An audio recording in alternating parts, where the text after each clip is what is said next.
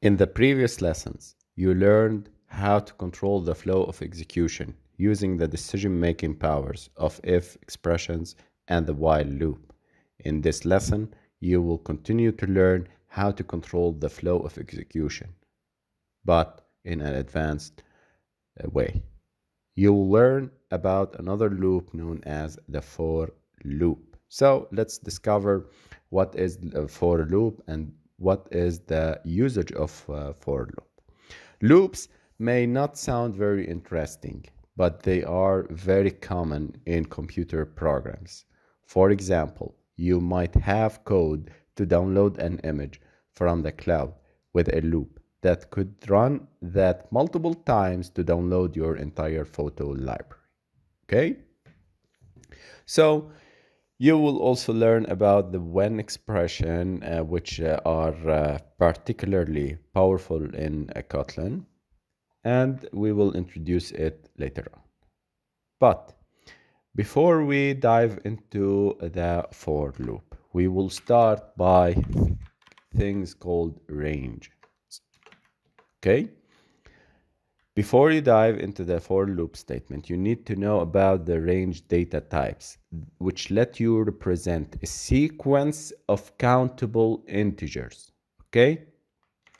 So it's a method to represent. Please write them down to understand them and later on if you want to uh, review your uh, codes and studies you can get them directly from your notebook so represent a sequence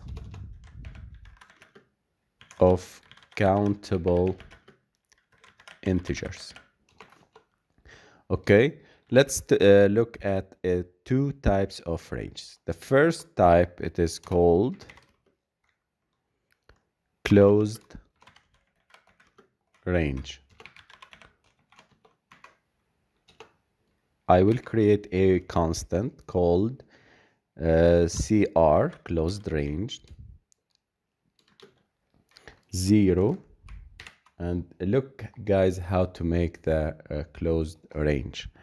0 to 5 okay? So in this way we have created a closed range. The two dots indicate that this range is closed which means that the range goes from 0 to 5 inclusive so from 0 to 5 inclusive. Let's print CR to see the result. And run.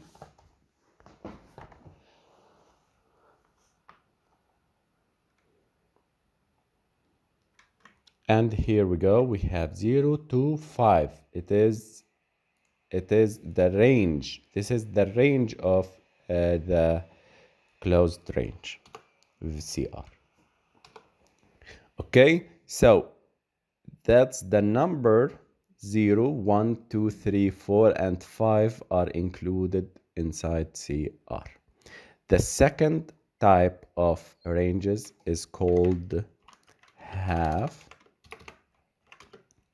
half open range okay? Which would you represent like it uh, like this? Val half open i would say half open range h-o-r equal zero. And look guys we are going to use until so it is a keyword here until 5 what are the difference between these two ranges. The first one, here you replace, uh, uh, sorry, here you replace on the second one, the half uh, open range. Here you replace, replace the dot, two dots with until. Half open means the range goes from, up from, let me comment, from 0 to 4 inclusive okay so but not including 5 that these numbers are 0 1 2, 3, and 4. And above, the numbers are 0, 1, 2, 3, 4, and 5. Okay? So, in this way, we have learned about the closed range and the half open range. Okay? This is the ranges in, uh, in Kotlin. There is another uh, thing that you should learn. One and a half open ranges created with uh, two dots and the until operators are always increasing. They are increasing.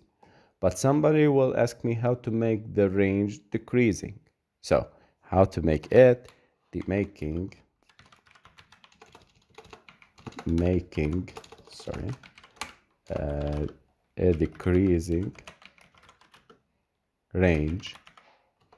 We start by in other words the second number must always be greater than the, uh, than or equal to the first. To create a decreasing range you can always use down to which is inclusive. So val uh, decreasing range dr equal to 5 look guys down to down to 0 okay?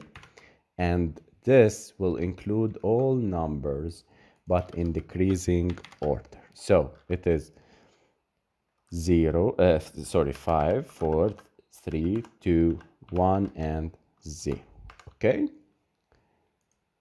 these are the ranges in Kotlin. This is how, what are the difference of range, different ranges uh, and they are commonly used in both for loops and when expression, which means that you thought the rest of the lessons you will use ranges as well. So we are going to use these ranges in the loops and the when expression. So I hope you understand this, that the closed range is from 0 to 5 and in inclusive. So uh, half open range is 0 until 5 and 5 is not included. And to make it decreasing range, we use 5 down 0, 5, 4, 3, 2, 1 and 0. And 0 is inclusive. So 0 inclusive and 5 inclusive. Thank you guys. I hope you rate us 5 stars on Udemy to support us making new tutorials and new courses.